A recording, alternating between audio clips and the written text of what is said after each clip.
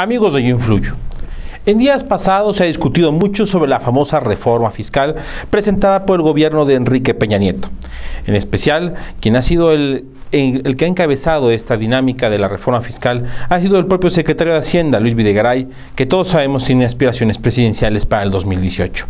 Pero la verdad, la falta de oficio político por parte de Luis Videgaray le puede costar muy caro a sus aspiraciones dentro de unos años. Y es que Luis Videgaray decidió en su reforma cobrar impuestos a quienes normalmente ya lo hacen, principalmente a la clase media.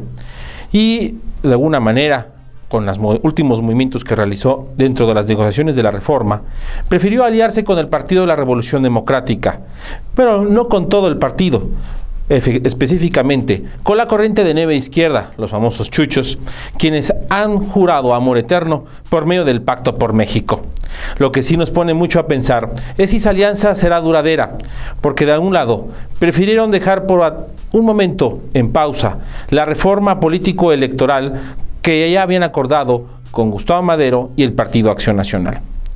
Y menciono que Luis Videgaray puede estar sufriendo dentro de unos años su candidatura porque un buen número de empresarios han rechazado las reformas, porque de alguna manera van a pagar los que siempre pagan.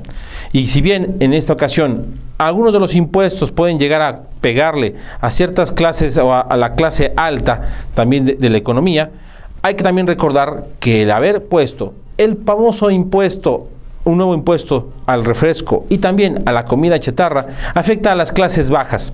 Pero el tema más preocupante es el IVA fronterizo. Hay que recordar que tan solo en lugares como Tijuana o Mexicali, la mayoría de los mexicanos que tienen visa, que estamos hablando de la clase media y la clase alta, pasan sin ningún problema a San Diego a hacer sus compras, donde están pagando un 7% de IVA. Pero en el caso de la clase baja, que actualmente paga un 11% de IVA, al estar pagando un 16%, puede realmente caer en una crisis económica. Son cosas que debe de pensar Luis Videgaray si busca realmente la candidatura presidencial en 2018. La falta de oficio político para haber hecho un buen consenso con todos los diversos actores políticos y no políticos le puede costar muy caro. Para yoinfluyo.com, Guillermo Torres Quirós.